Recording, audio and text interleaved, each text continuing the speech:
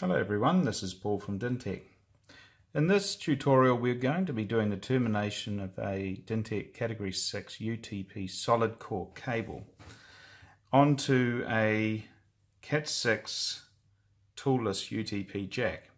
Now the advantages of using the toolless jacks are of course if you don't have the termination tools to hand, uh, could be the um, one crimp and cut uh, easy tools or the 110 tools.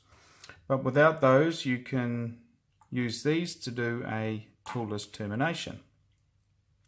So what we're going to need for this is our Cat6 UTP cable. We'll be using the toolless jack here, which comes also with a cable guide to keep the wires in place in their correct configuration. We will need strippers to strip the cable with and some cutters as well to cut off the spare wire that comes off the cable guides. Right, so the first thing to do is to strip back the sheath.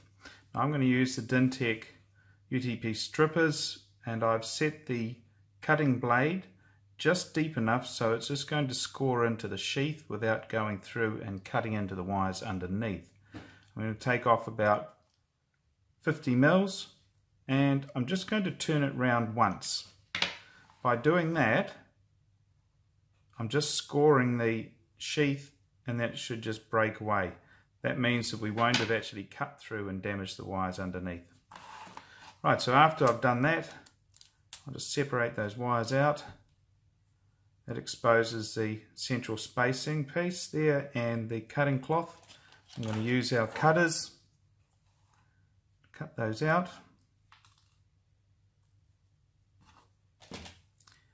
I'm ready to put it inside the cable guide. So inside the bag for the jack there will be a instruction sheet. Okay, comes with its own instruction sheet.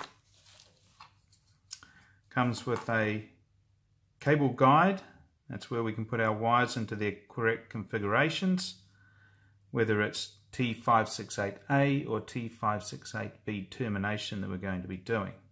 Today I'm going to be doing a T568B termination, which means that we're going to be putting our orange to the front on this side, our brown to the front on that side, green to the back here, and blue to the back on this side.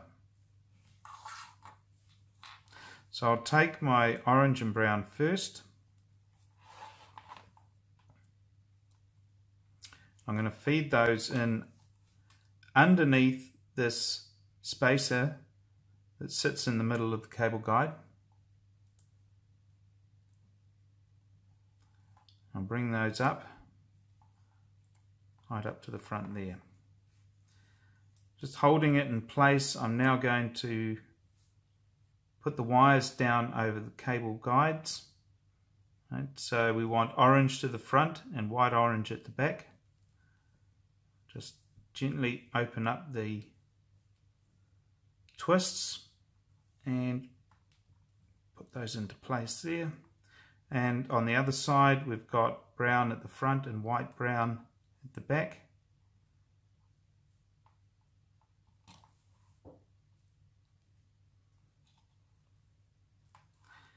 And we come to the back of the cable guide. So we've got blue on this side. So it'll be white blue first and then at the back we'll have blue white. I'm just going to undo that slightly.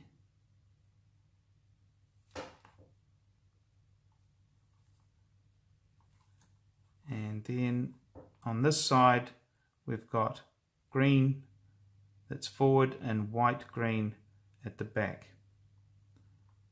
Just lay those wires so that they sit in place and pull it down like that. So I'm ready now to cut those off level with the cutters, just making sure that we've got our twists. You can see here that our twists coming right up to our termination points. As I'm cutting these wires off, I'm actually pulling the cutters down at the same time. That just helps to keep the wires inside the cable guide.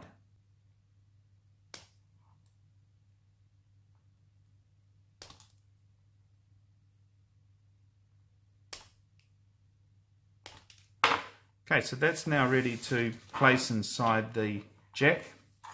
I take the jack, open it up, turn this upside down and just place it in gently so that it seats itself onto the insulation displacement terminals. Then I take the cover, place it down and just press it into place. Once the back piece locks into place down here, we know that it will have pressed the wires down over the IDCs. They would have split through the insulation and they'll be now terminated to the copper wires. Uh, we should have no exposed wires out the back so when we're putting this in we make sure that our sheath goes all the way in as far as possible. That just keeps all of our twists as much lined up as possible. Okay, so that is the termination of a Dintek Category 6 solid core UTP cable onto the Dintek toolless Cat 6 jack.